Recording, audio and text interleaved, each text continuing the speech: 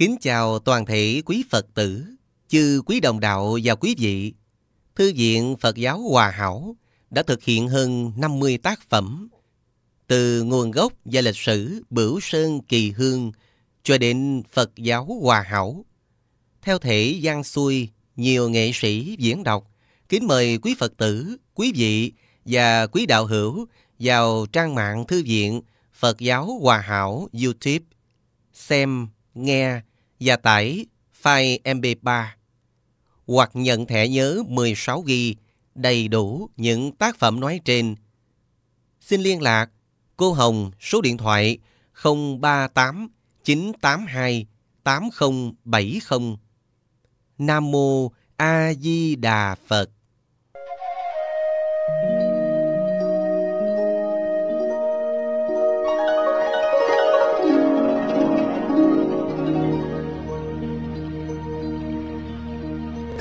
Phần đại khổ của mỗi chúng sanh gồm có sanh, lão, bệnh, tử, mưu cầu bất đắc, ái biệt ly, quan tắng hội, ưu sầu lo ngại. Đức giáo chủ nhắc lại lời giảng của Đức Thích Ca Mâu Ni Tất cả chúng sanh trong cõi trần chịu muôn ngàn điều khổ não, kể chẳng xiết, nhưng có thể tóm lại tám điều. Vì trong tám điều khổ ấy, nó có thể nảy ra muôn ngàn sự khổ não kia. Sở dĩ có những nỗi khổ trên là vì chúng sanh còn gây tạo xác thân. Nếu thân không có, thì mọi sự khổ chẳng do đâu mà sanh được. Lão tử cũng xác nhận điều này. Ta có đại hoạn vì ta có thân nếu ta không thân, hoạn nạn đâu có. Ngô hữu đại hoạn dị ngô hữu thân. Nhược ngô vô thân, hà hoạn chi hữu. Và đức phật đã từng giảng rõ, thân là gốc của sự khổ, nó là cái quả của các nghiệp tiền trần, quá khứ. Mà nó cũng là cái nhân của quả dị lai. Vậy cái khổ thứ nhất là sự sanh. Bởi những tiền kiếp chúng sanh còn tạo nghiệp sanh tử, nên thần thức phải đầu thai vào bụng mẹ. Ở trong đó, bị bào thai bao bọc, bịch bùng như người bị nhốt trong ngục thất. Thai nhi bắt đầu chịu sự nuôi dưỡng bằng vật ô quế tinh huyết của mẹ. Những khi người mẹ đau yếu máu huyết không đầy đủ, thai nhi phải ốm thon lại. Lúc mẹ đói lòng, cũng như cái túi treo lơ lửng, thường hay chới giới.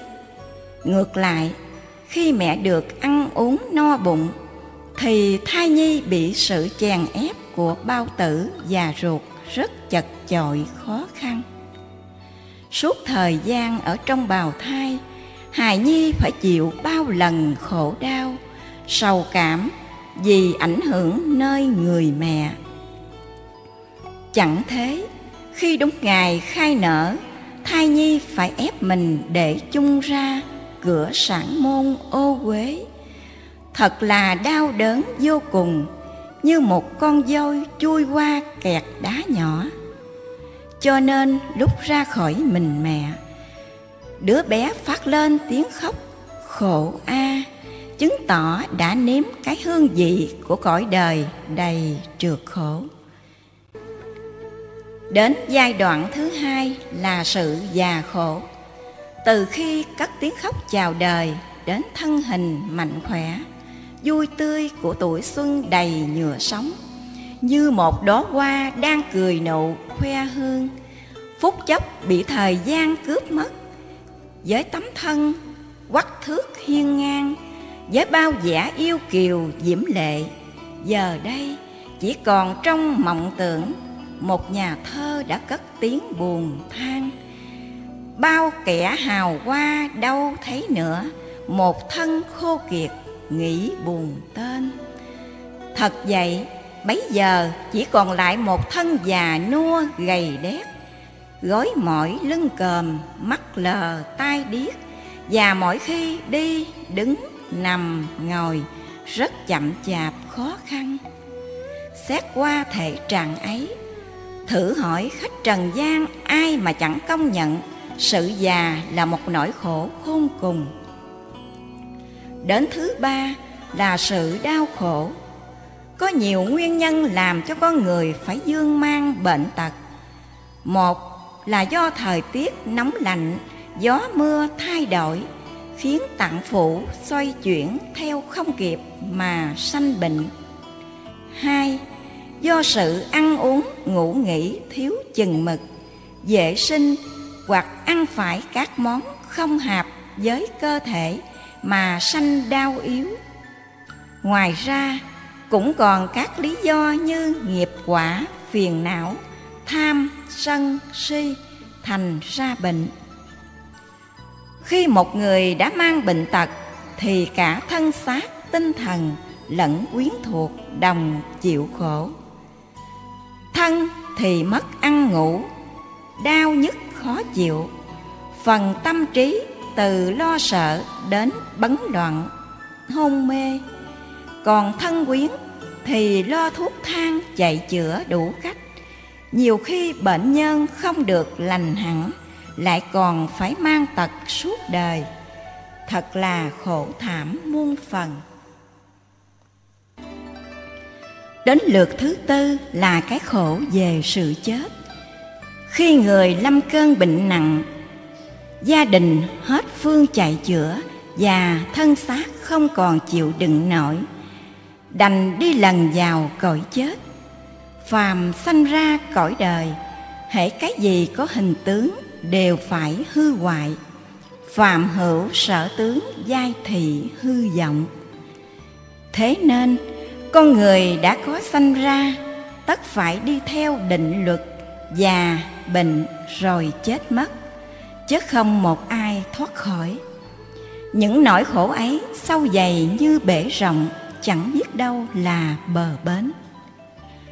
Thử ôn lại quãng đời con người từ sanh ra cho đến khi chết, sự lao khổ không sao kể xiết. Sanh ra đã khổ, bệnh tật lại còn khổ hơn.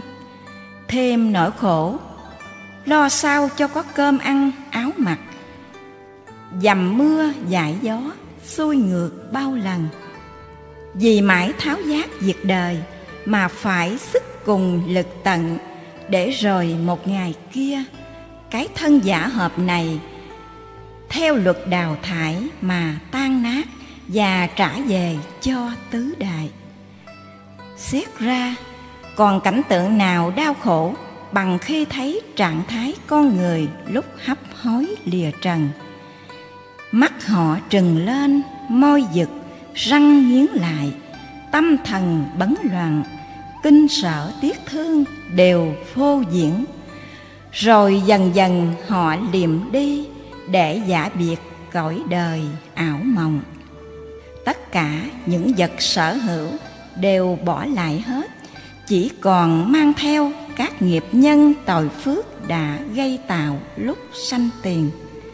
Nhắm mắt cũng nắm hai tay, đâu đem tiền của đem rài hầu non. Chỉ có tội phước hỡi còn, đến nơi thẩm phán cửa son diêm đài. Phước nhiều tiên cảnh lên rài, tội nhiều sa đọa nhiều ngày thảm thê. Giả lại, trong đời biết bao bậc đế dương khanh tướng, thế lực, tiền tài, danh y, bác học. Họ tìm đủ phương cách ngăn ngừa, cứu chữa để kéo dài tuổi thọ.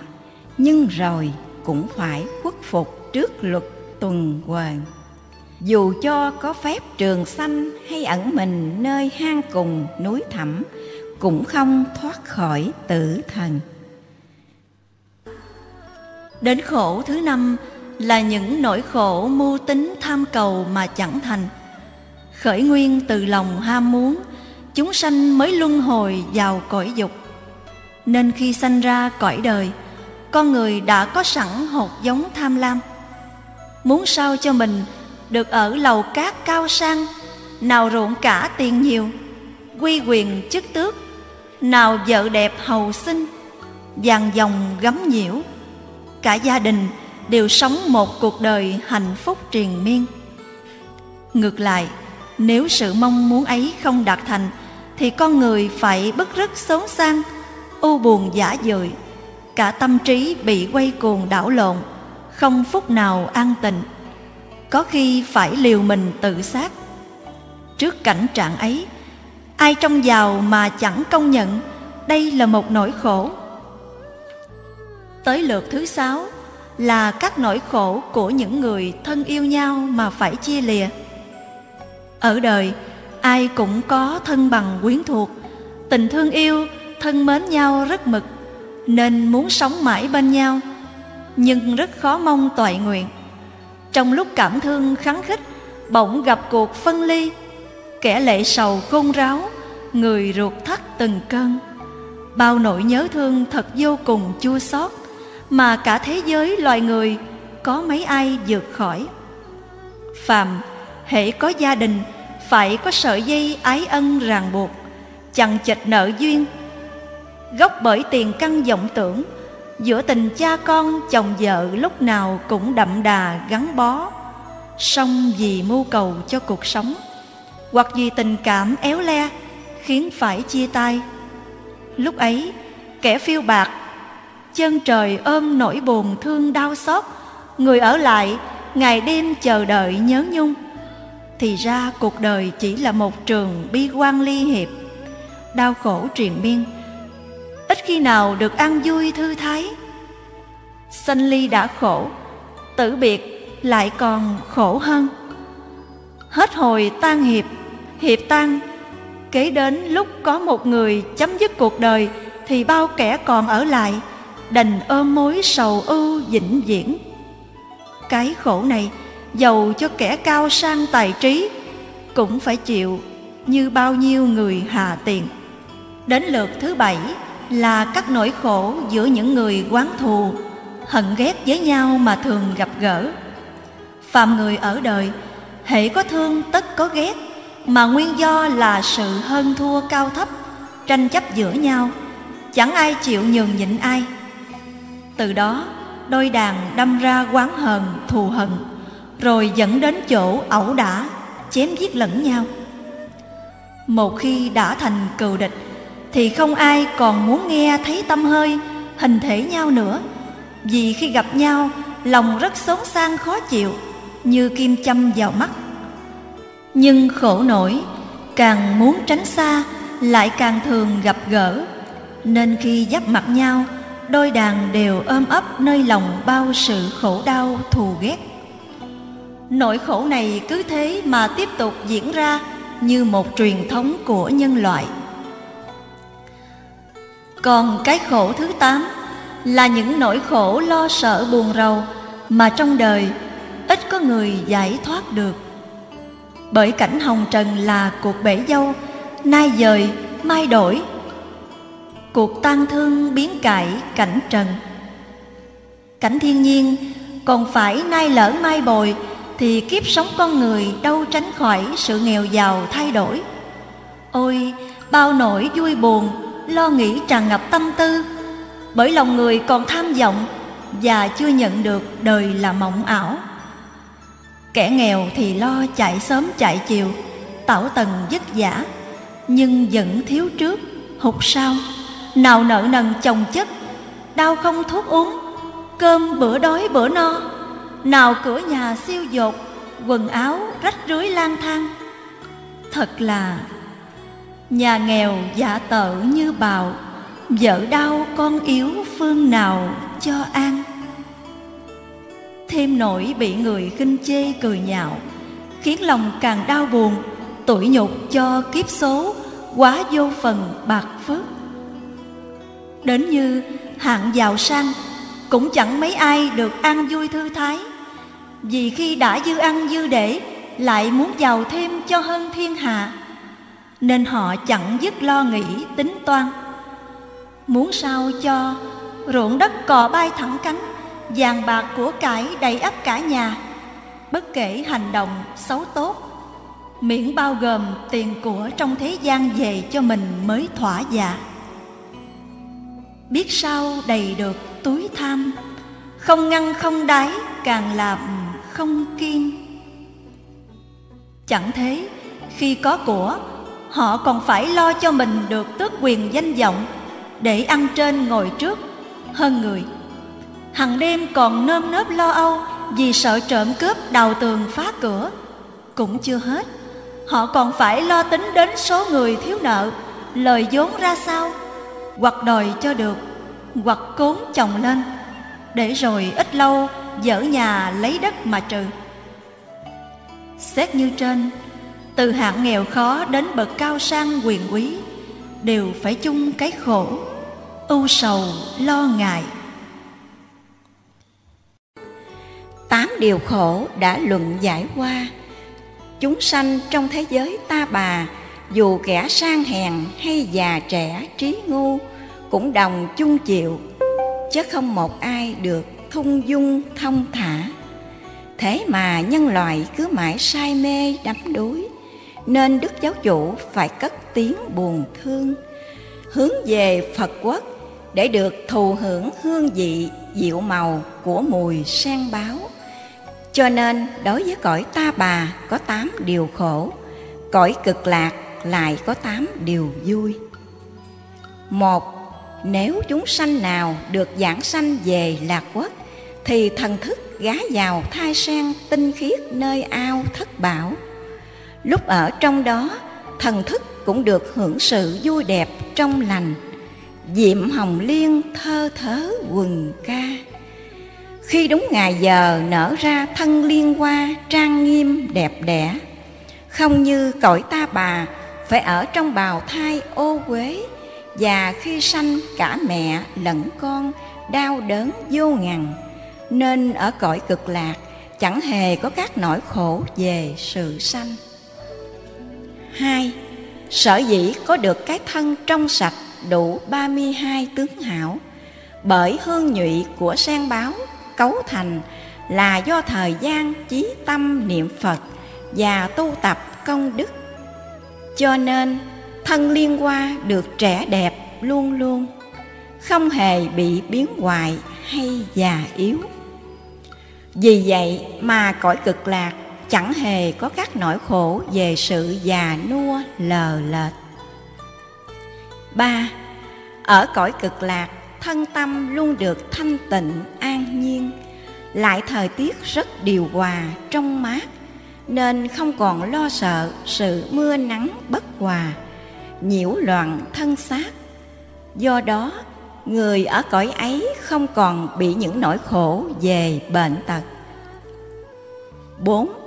Đã không già yếu, bệnh tật nên người ở cõi cực lạc được sống vô lượng số tuổi, đồng hưởng thọ trường tồn bất diệt ngang hàng với chư Bồ Tát và Đức Phật Di Đà.